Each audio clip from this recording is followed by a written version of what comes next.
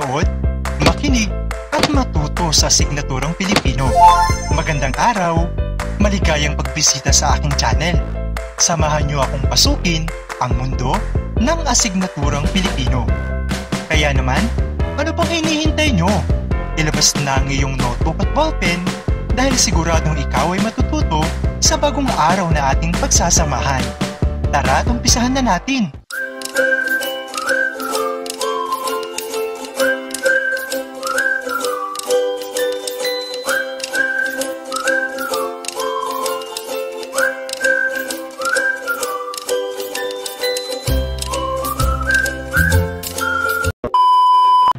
Ngayong araw ay matututunan mo ang kakayahang pangkomunikatibo, lalong-lalo na ang kakayahang grammatical o linguistiko. Kung wika ang pag-uusapan, laging kakambal nito ang mga usapin patungkol sa komunikasyon. Ang dalawang ito ay kambal tuko na at hindi na pwedeng paghiwalayin pa dahil bihikulo sa mabisang komunikasyon ang wika. Dahil dito, ipinakilala na Del Hathaway Himes ang tungkol sa konsepto ng kakayahang komunikatibo o communicative competence. Sa pagtuturo at pagkatuto ng wika, hindi sapat na matutuhan lang ang tuntuning panggramatika. Dapat mayroon kang sapat na kakayahang pangkomunikatibo. Paano natin malalaman na mayroon kang kakayahang komunikatibo? Sapat ba na marunong ka at napag-aralan mo na ang isang lingwahe? Juan, Juan, alam mo, marunong na ako mag-Korean. Wow, galing ah! Annyeonghaseyo! Saraya Ako naman, marunong na ako mag-Japanese. Talaga? Sige nga. Konnichiwa! Arigato gozaimasu! Sapat ba na marunong kang gumamit ng mga tuntuning panggramatika at balarila? Pedro, Pedro, tara, mag-vlog na tayo. O sige, sige, introan mo na. Hello everything! How do you find out? Ang grammar naman.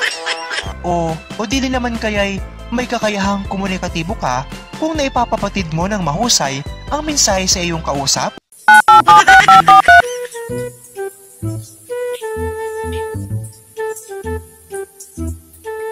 Hello, Baby Loves. Gusto ka na dyan? Okay lang yung Baby Loves. I miss you. I miss you. 143. 1433.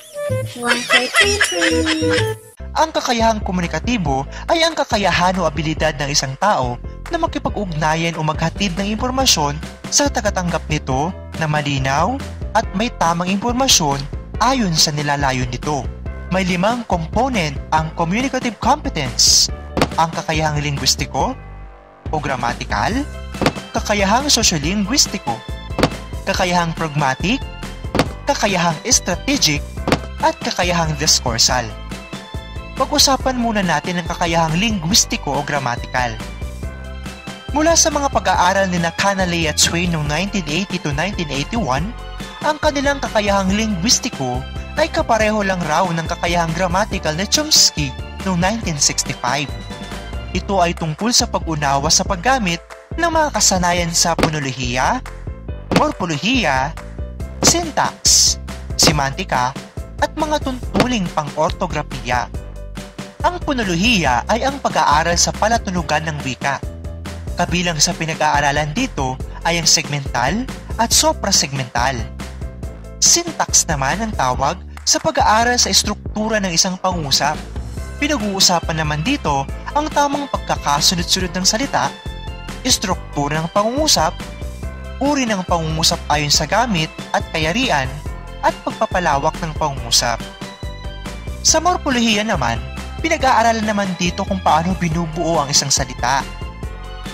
Kapag sinabi naman nating semantika o semantics, ito ang agham ng linguistiko na nag-aaral ng kahulugan ng mga salita at ekspresyon. Ibig sabihin, kung ano ang ibig sabihin ng mga salita kapag nagsasalita o sumusulat tayo ay tinatawag na semantika. Kabilang dito ang mga konotasyon at denotasyon. Sa ortografiya naman, pinag-aaralan dito ang wastong pagbabaybay at pagsulat kasama ang mga aspetong bantas, pantig at palapantigan, mga grafema at iba pa. Mapapansin natin na ang mga ito ay kalimitang itinuturo sa mga paaralan. Ang unang kakayahang grammatical o linguistikong ito ay hindi pa rin sapat para matawag kang may kakayahang komunikatibo or communicative competence. Kailangan mo pa rin malaman ang iba pang component nito. Subukan nga natin kung meron kang sapat na kakayahang gramatikal o linguistiko. Suriin mo nga ang pangungusap na ito. Tignan mo kung may mali.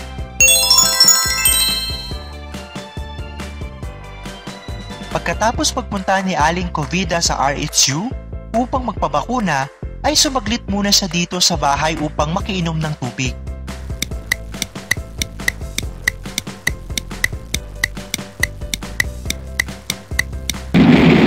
Wala kang makitang mali sa pangungusap, ay nangangahulugan lamang ito na hindi pa sapat ang iyong kakayahang komunikatibo, lalong-lalo na sa kakayahang gramatikal o linguistiko.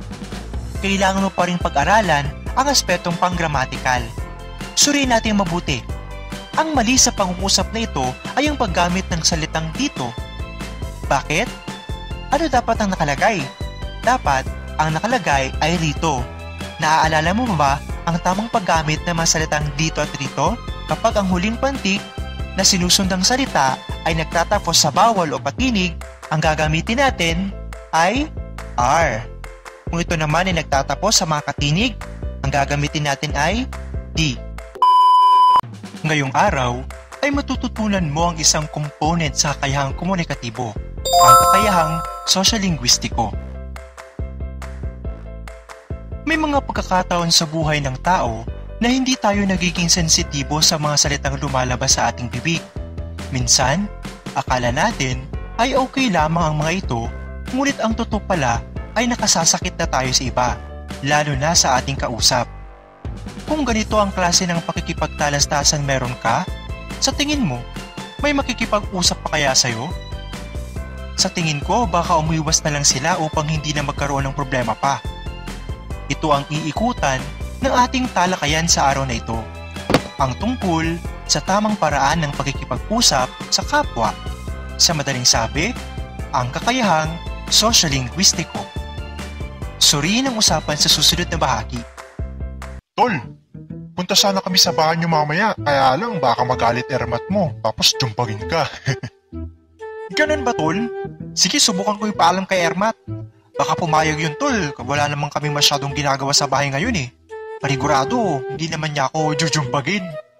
Mama, ipapaalam ko po sana na bibisita mga kaibigan ko sa bahay mamayang hapon. Okay lang po ba, Mama? Kung sa bagay, wala naman tayong gagawin. Sige anak, okay lang. Papuntahin mo sila rito ha. Paghahanda ko kayo ng mamimerienda. Salamat, Mama. I love you. Napansin mo ba ang paraan ng pag-uusap ng mga tauhan? Tignan natin. Ano ang napansin mo sa pag-uusap ng dalawang magkaibigan? Tama. May kagaspangan ang paraan ng pananalita ng bawat isa. Sa bahagi naman ng pag-uusap ng anak at tatang nanay, makikita nating maayos at malambing ang paraan ng pakikipag-usap ng anak sa kanyang nanay. Ito ay isang katangian ng kakayahang sociolinguistiko. Ayon kay Del Hathaway Himes, kailangan ng maayos at mabisang paraan ng pakikipag-usap sa iba upang magkaroon ng malinaw na daloy ng komunikasyon. Hindi sapat na marunong ka lang sa lingwahe at marunong kang magsalita. Dapat alam mo rin kung paano isaayos ang pakikipag-usap. Dahil dito, si Himes ay bumuo ng mga dapat isaalang-alang upang magkaroon ng mabisang pakikipagtalastasan o pakikipag-usap. Ito ay ang acronym na SPEAKING. Isa-isahin natin. Setting. Ito ang lugar kung saan nag-uusap ang dalawang tao. Kapag tayo ay nakikipag-usap, kailangan din nating ibagay ang mga paraan ng pagsasalita at mga salita mismo sa lugar kung saan ginaganap o gaganapin ang pag-uusap. Halimbawa, magkaiba ang paraan ng pagkikipag-usap sa simbahan at sa palengke. Kung sa palengke ay halos magsigawan na kayo ng kausap mo, sa simbahan naman ay halos pagbulungan na kayo upang hindi maistorbo ang ibang tao. Participant Ang taong kausap o kumakausap. Isinasaalang-alang din natin kung sinong ating kausap. Hindi ba't magkaiba ang paraan ng pakikipag-usap natin sa ating guro kumpara sa ating kaibigan o kaklase? Nagiging formal at magalang tayo kung guro ang ating kausap. Pero kung kaklase o kaibigan natin, nagiging magaspang ang masalita natin at minsan pabiro pa. Ends. Ito naman ang layunin o pakay sa pakikipag-usap. Naranasan mo na bang may humingi sa'yo ng papel dahil may quiz kayo pero pagalit o magaspang ang paraan niya ng pagsasalita? Hindi ba't nakakainis bigyan ng ganon? Yung tipong hihingi na nga lang, medyo bastos pa. Ito ang ibig sabihin ng ends. Naiaangkop ng tao ang kanyang pagsasalita, depende sa kung ano ang motibo o layunin niya. Sa halimbawang ibinigay, dapat ay maging magalang siya sa paghingi ng papel para bigyan siya agad ng hinihingian niya. Act sequence. Ito naman ay tumutukoy sa takbo ng usapan. May mga pagkakataon na mainit ang usapan o kaya baka humantong sa pikunan o sakitan. Dahil dito, kailangan nating maging maingat. Dapat maging sensitibo tayo kung saan napatungo ang takbo ng usapan. Tiyakin na laging mapayapa ang paraan at kahahantungan ng usapan upang mas maging malinaw ang mga ideya o kaisipan na nais iparating ng bawat isa. Keys Ito naman ay tumutukoy sa tono ng usapan. Halos katulad dito ng setting. Walang makikipag-usap sa'yo kung hindi mo ibabagay ang tono ng pananalita mo sa tao at sa lugar.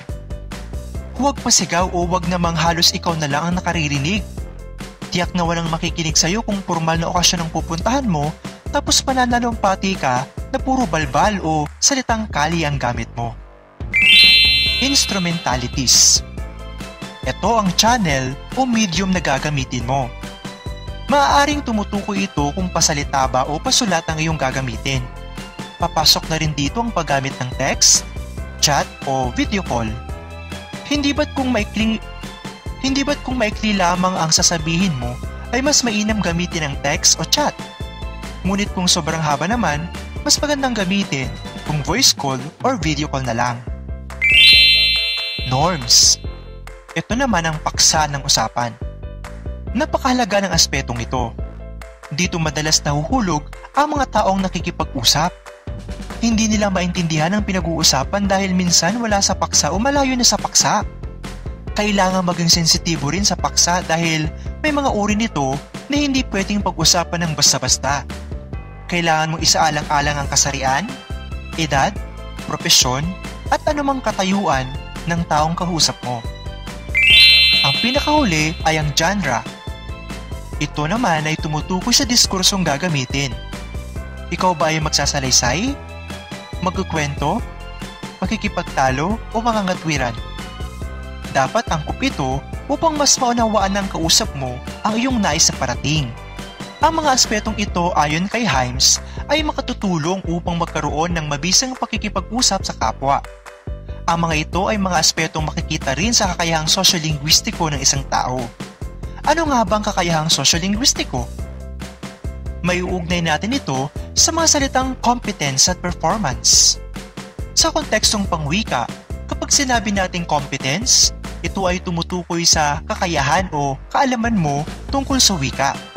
Samantalang ang performance naman ay tumutukoy sa kung paano mo ginagamit ang wika.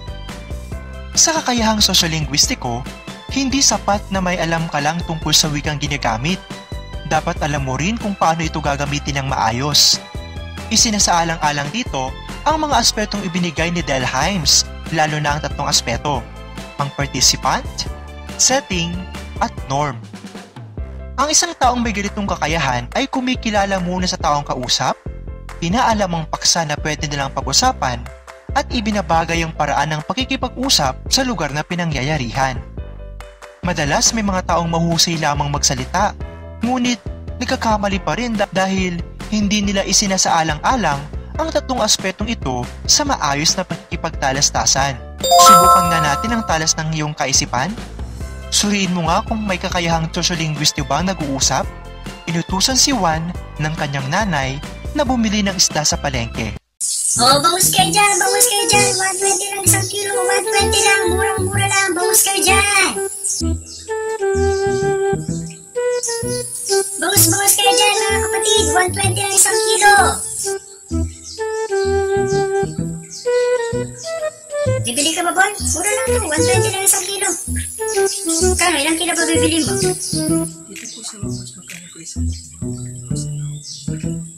Ano? Hindi ko narinig. Ano sabi mo?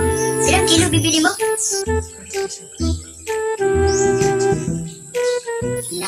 May tayo dyan. Lakas ang boses mo, hindi ko narinig. Hindi mo na lang sa doon ka lang sa ibang bumili. Nakakadisturbo ka ng pagbebenta. Bawas ka dyan, bawas ka dyan! Sa iyong palagay, kakikitaan ba ito ng kakayahang sociolinguistiko?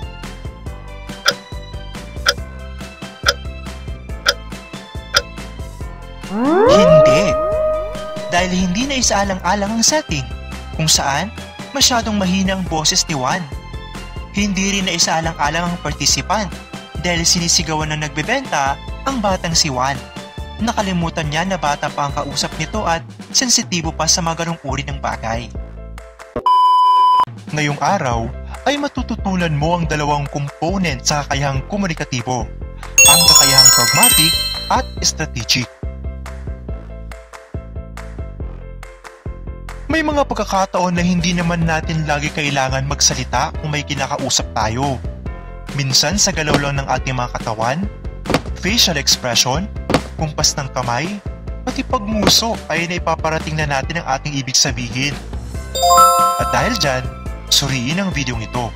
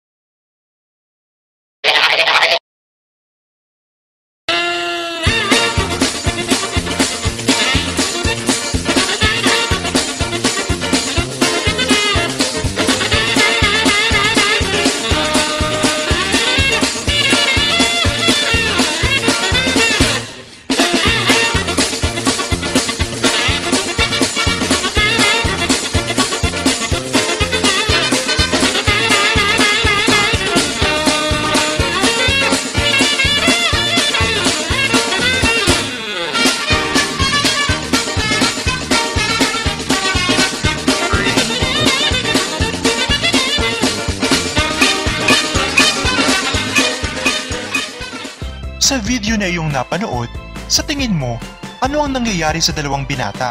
Ano ang ipinapahiwatig ng video na ito? Hindi man nagsalita ang dalawang karakter, ay naunawaan natin na sila ay nagkakaroon ng asaran at nauwi sa habulan at halos magkasakitan na. Bakit kaya natin ito nauunawaan? Gayong hindi naman sila nagsalita. Iyon ay dahil sa aspetong diverbal na komunikasyon. May dalawang uri tayo ng komunikasyon, ang verbal at di-verbal. Kapag sinabi nating verbal, ang mga participant sa proseso ng komunikasyon ay nagkakaroon ng palitan ng mensahe sa pamamagitan ng pagsasalita. Kapag di-verbal naman sa kabilang banda, ito ay hindi gumagamit ng anumang paraan ng pagsasalita kundi pawang kilos o galaw ng katawan.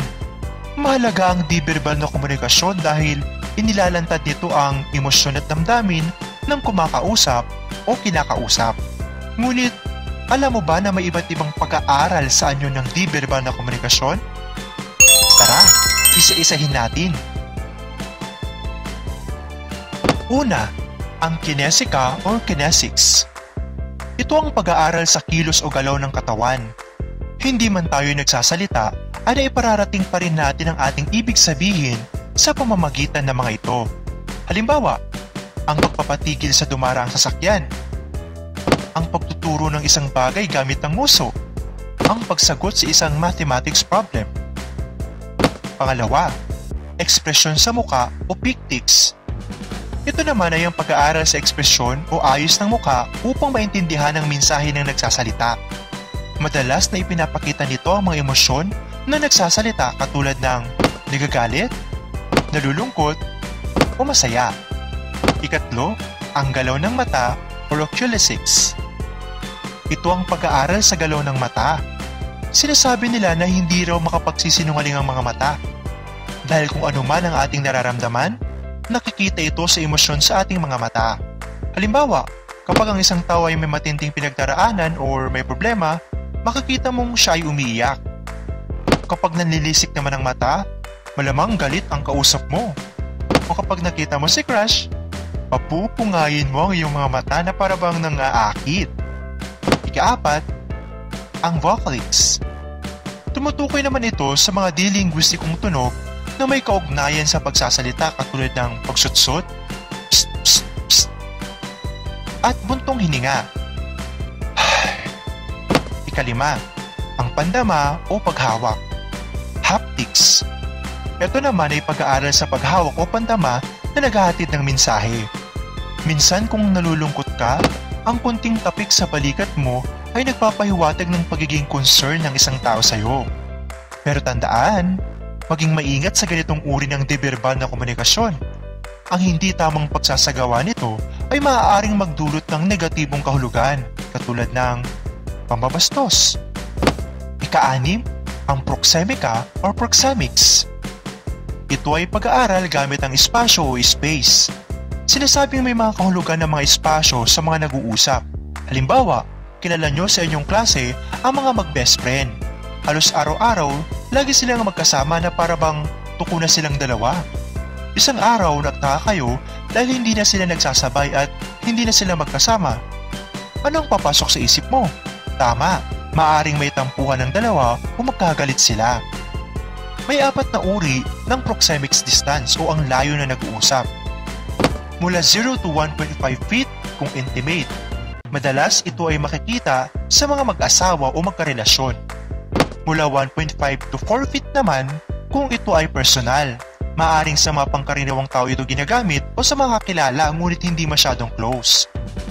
4 to 12 feet naman kung ito ay social distancing na nararanasan natin ngayong may pandemya or may nakakahawang sakit at public distance naman kapag 12 feet ang pagitan na madalas makikita sa mga talumpati. Ang panghuli, ang chronemics. Ito ay ang pag-aaral na tumutukoy sa oras. Ang oras ay nakapaghihiwatig din ng mensahe. Halimbawa, alam mo na nakakain ka na ng tanghalian pagpatak ng alas 12 ng tanghali. Pangalawa, ang pagtawag sa cellphone sa gabi ay nangangahulugang pag-iistorbo o maaaring emergency.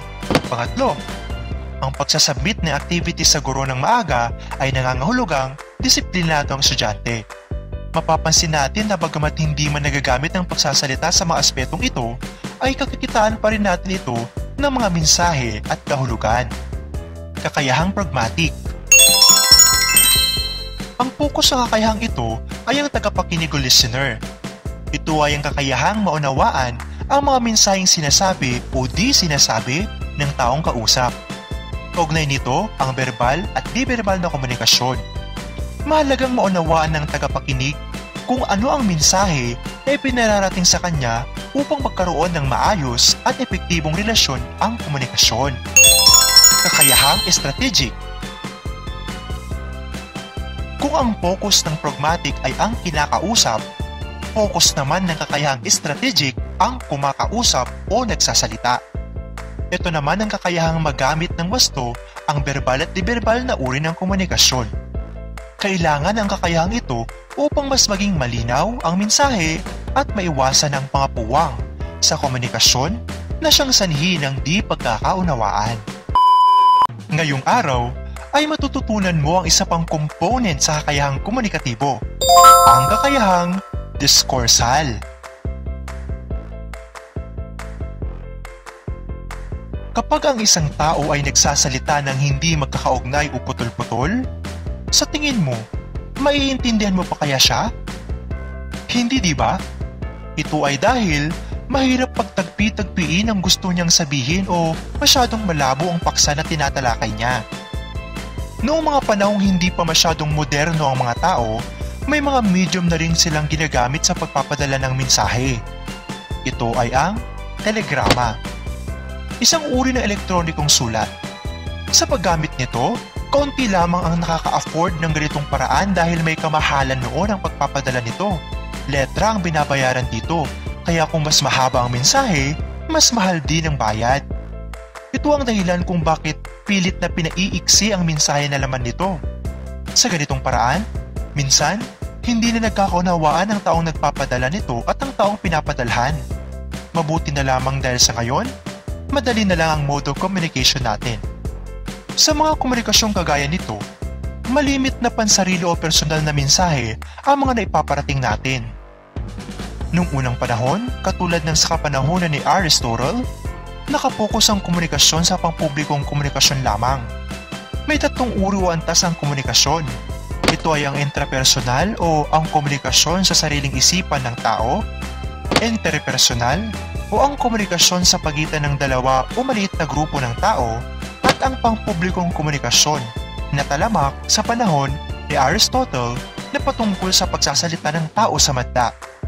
Sa panahon ngayon, itinuturing na rin na antas ng komunikasyon ang media na tumutukoy sa mga social networking services, komunikasyong organisasyonal, na madalas gamitin sa mga pagpupulong o seminar, at interkultural na komunikasyon katulad ng ASEAN Convention.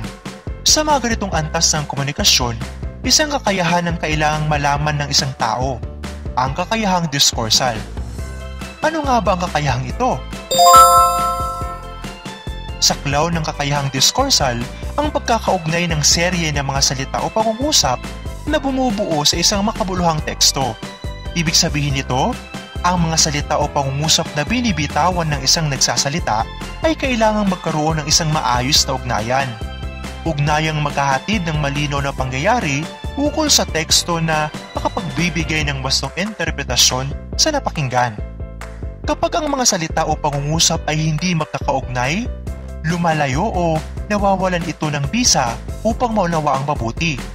Katulad na lamang nito, pagkagising ko kaninang umaga, masaya ka ba? Namalengke si mama at maglaro tayo. Umiyak ako sa labas at sasama kitang magpabakuna kontra COVID-19 pagkatapos gumawa ng module. Oh, natawa ka ba? Sigurado napakulot ang noo mo. Malinaw ba ang pahayag? Ito ang sinasabi natin na kailangang magkaroon ng maayos na ugnayan ng serye ng bawat salita at ang pangungusap upang magkaroon ito ng kabuluhan at maunawaan. Kailangang marunong ka sa cohesion o pagkakaisa at coherence o pagkakaugnay-ugnay kung ikaw ay may kakayahang diskursal. Ang mga ito ang kakailanganin mo upang malinang ang isang mahalagang komponent na ito sa mundo ng kakayahang komunikatibo. Ang kakayahang diskursal. Paano naman kung ganito ang nabasa mong kwento? Isang gabi habang ako ay natutulog, na naginip ako na kasama si Darna. Lumipad kami patungong Encantadia at nakipaglaban sa mga hator na pinamumunuan ni Hagorn. Habang nakikipagduelo si Darna, ay naapakan ko ang paa ni Spider-Man kaya napaiyak siya sa sakit. Mabuti na lamang at nandoon si Doctor Strange at agad niya itong ginamot sa pamamagitan ng relo ni Ben Tennyson. Natalo namin ang mga kalaban. Pagkalipas ng ilang oras, lumabas ang mga kalaban ni Trece na nakipaghabulan sa amin. Lumipad si Darna at nasabit ako sa kanyang sinturon. Natakot ako na baka mahulog sa pagkakalipad namin. Ilang segundo ang nakalipas, biglang lumutang si Thor sa kalawakan at inihagis niya ang kanyang mahiwagang martilyo. Dumiretso ito sa aking ulo. Bigla akong nahilo at bumulusok pababa. Pagkadilat ng mga mata ko, nalaglag ako sa kama at panaginip lang pala ang lahat. Ang iyong binasa ba ay nagpapakita ng pagkakaisa at pagkakaugnay-ugnay?